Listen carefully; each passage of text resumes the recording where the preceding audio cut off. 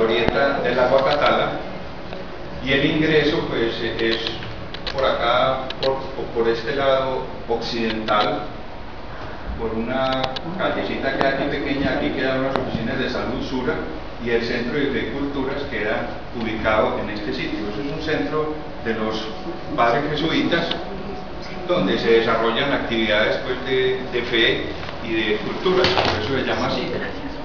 Eh, nos ubicamos ahí porque desde un principio Gabriel Jaime y yo en las primeras conversaciones de, este proyecto nos propusimos eh, convocar grupos de no más de 30 personas para compartir con ellos pues, los conocimientos que hemos adquirido Gabriel Jaime y yo a través de la vida, pues Gabriel más con el énfasis histórico, mitológico, más eh, poético, ¿cierto? Eh, y yo, pues más que todo con la parte de la observación y, del conocimiento del cielo. Entonces nosotros nos conjugamos en esa, en esa actividad, en esa forma. Los, les voy a mostrar los cursos que hemos, que hemos eh, impartido, que hemos compartido con estas personas a través de estos dos años y algunas de las salidas que hemos hecho con, esos grupos.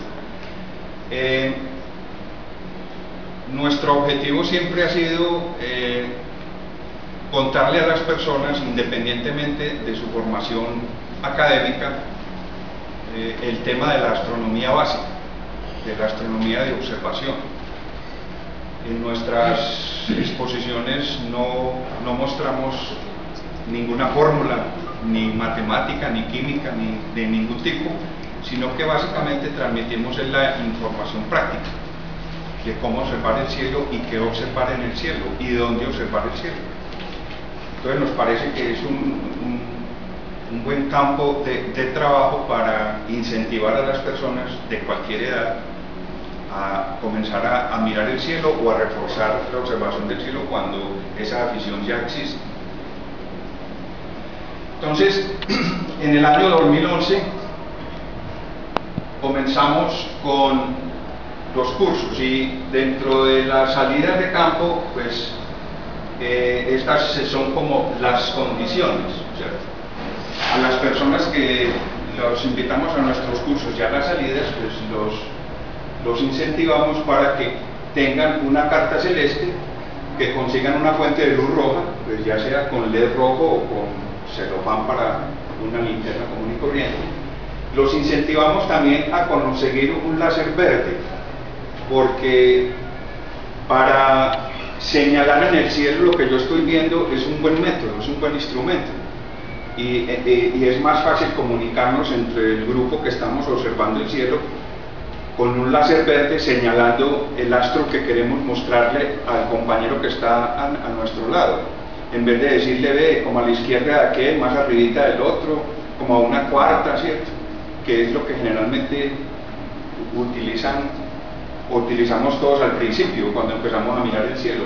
En cambio, con un láser verde podemos señalar exactamente qué es lo que queremos que vea el otro. No son costosos, los conseguimos muy, muy baratos en, el centro, ahí junto a, la estación San Antonio del metro, ahí hay un, hay un sitio donde pues, les cuento que se consiguen 50 mil pesos un señalador verde, un láser verde de muy buena calidad.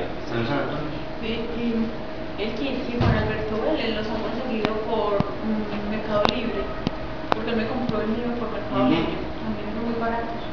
Muy bien. Les, los incentivamos también pues después de conocer el cielo con la carta celeste, a tener unos binoculares. Y unos binoculares no muy sofisticados, unos binoculares 7 por 50 o 10 por 50 máximo. Si no tienes la capacidad económica para conseguirlo, etcétera, etcétera, pues entonces por lo menos que lo compartan con las otras personas que van a la observación. Pero sí les, sí les decimos que por lo menos estos cuatro elementos son unos elementos básicos para las salidas de campo. Telescopios, el que haya tenido un telescopio en el momento de, llegar a nuestro grupo, pues si lo quiere compartir en observación, lo puede llevar, etc. Siempre llevamos una presentación alterna a las observaciones, porque aunque tengamos un porcentaje alto de posibilidades de que el cielo esté despejado, como convocamos a la reunión y eso tiene un costo, ¿cierto? Entonces a las personas les ofrecemos, en el caso de que el cielo esté cubierto, que no haya posibilidades de ver cielo, tenemos una presentación alterna sobre un tema astronómico o sobre un tema mitológico o histórico. también les hablamos mucho de la ropa adecuada para la observación. A los sitios que hemos ido han sido sitios de clima frío, entonces les indicamos pues qué tipo de, de vestimenta, de zapatos deben llevar la observación para que la disfruten. Llevamos alimentos, algunos los conseguimos nosotros con la cuota que da cada uno de los asistentes, pero es libre llevar alimentos, entonces generalmente nosotros llevamos eh, alimentos energéticos de, con carbohidratos de rápida absorción para que, para que no haya pues frío, para que la gente no tirite ahí con el frío y tenga eh, pues, dificultades para la observación y llevamos pues generalmente llevamos vino, pero no para empezar a tomar eh, desde el principio, sino cuando ya estemos terminando, pues para hacer un brindis, etc. ¿Y cuál es un carbohidrato de rápida absorción? Por ejemplo, galletas, eh, sándwiches, tostadas, pan.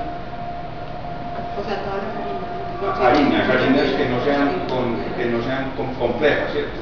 Eso es lo que llevamos, papitas y a veces llevamos también algún caldo de, de, de una sopa con algún sabor para darle calorcito. El manera que un maní. ¿Y que cuáles no son de rápida Maní es rápido también. Maní también. ¿Y cuáles no son de rápida absorción? Mm, los que son muy procesados. Chocolatina, por ejemplo, eso, eso, eso tiene mucha, mucha grasa y, la grasa retiene los alimentos en el estómago por lo menos dos horas, entonces la absorción no se hace rápidamente. Y uno en una observación siempre piensa en una chocolatina. Yo, porque el, el, maní. La barra de chocolate, pues la, la, chocolate cruz, ese tipo de chocolates, pues. Ese, pero entonces habría que hacer chocolate. Ajá. Habría que llevar para calentar y todas estas cosas, pero también se podría llevar en un termo, ¿cierto? Eso es muy buen energético y es de rápida absorción. Lo que hay que tener en cuenta es que no haya, que no haya alto contenido de grasas en, la alimentación. El maní tiene grasas, pero son grasas de ah, rápida absorción. Eso. Se lo recomiendan mucho para los alpinistas. Exacto. Y el horario de las observaciones es, más, es entre las 5 y las 10 de la noche. Siempre salimos a sitios que no estén alejados más de dos horas de Medellín para que podamos volver después de la observación. Y generalmente las hacemos sábados, porque la mayoría de las personas que asisten a los cursos de las observaciones trabajan, entonces buscamos un, momento en el que puedan realmente asistir a la observación. El primer curso que dimos el año pasado, estos son los afiches promocionales que nosotros divulgamos por por el correo en la base de datos que tenemos, por el Facebook, pues yo soy el que me encargo de publicar esto en Facebook, en, Twitter. Eh, entonces, el primer curso lo llamamos La Noche Estrellada y miren que es curso básico de astronomía para contempladores del cielo.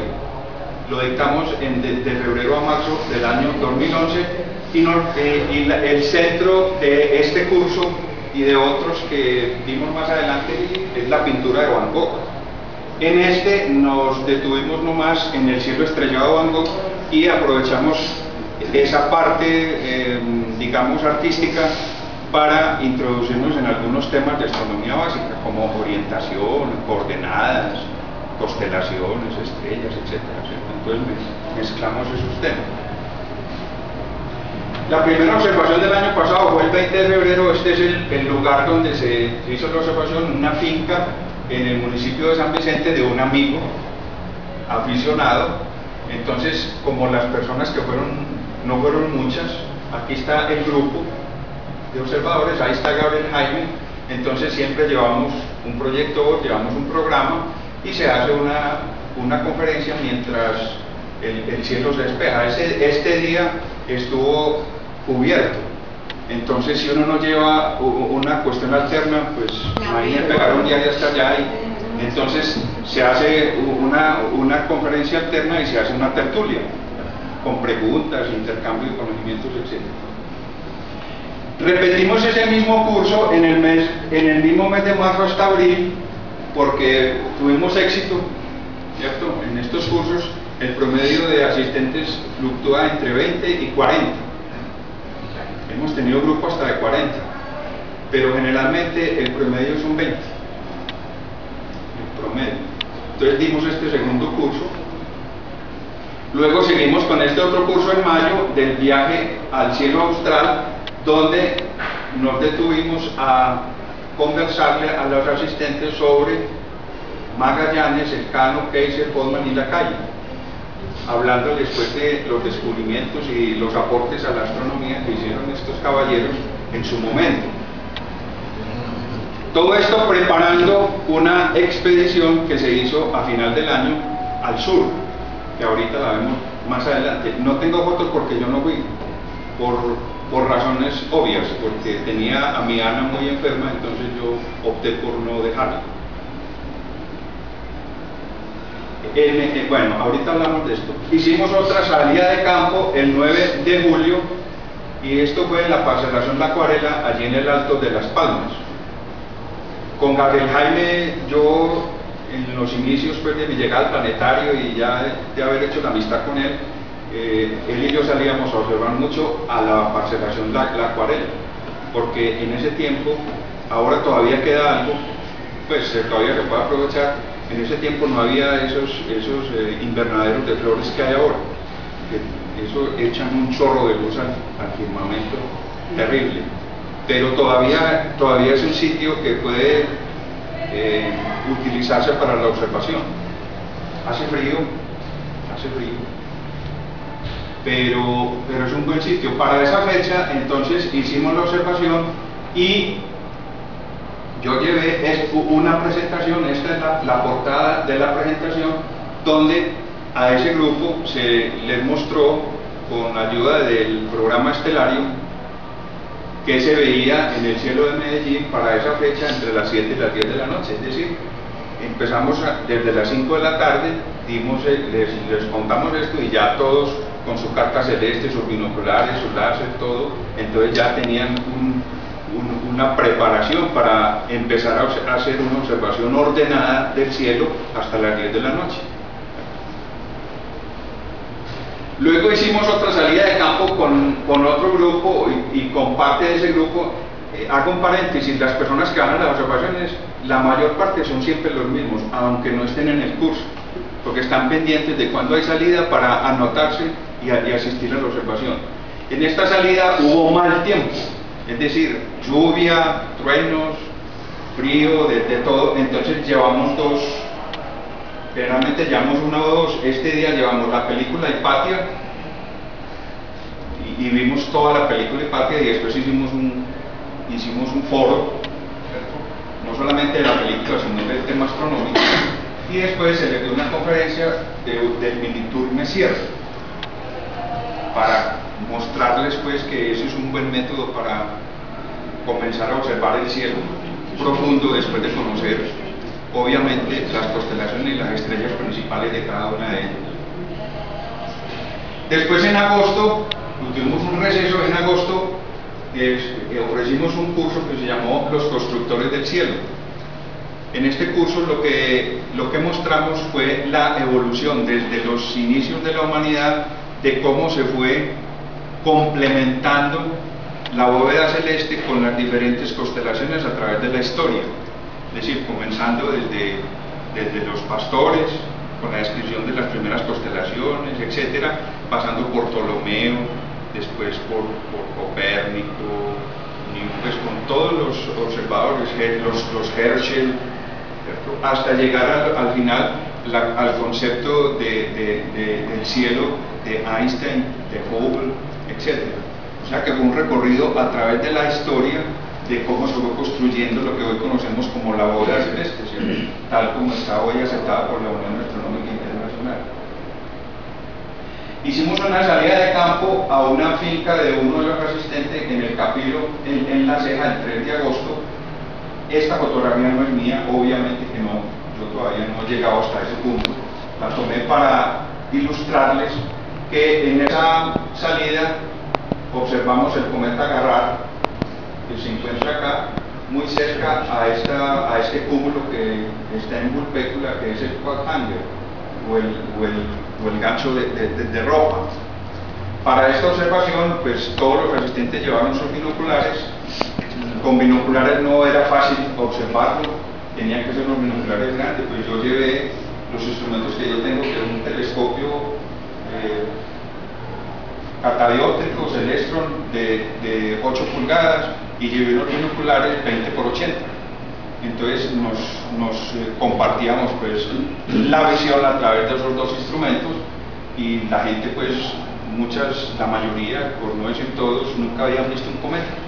Entonces fue un espectáculo que aprovechamos para, para mostrarle a las personas que ver un cometa con unos binoculares o con un pequeño telescopio no es nada complicado. Lo importante es estar en el sitio a la hora precisa y saber por dónde buscar.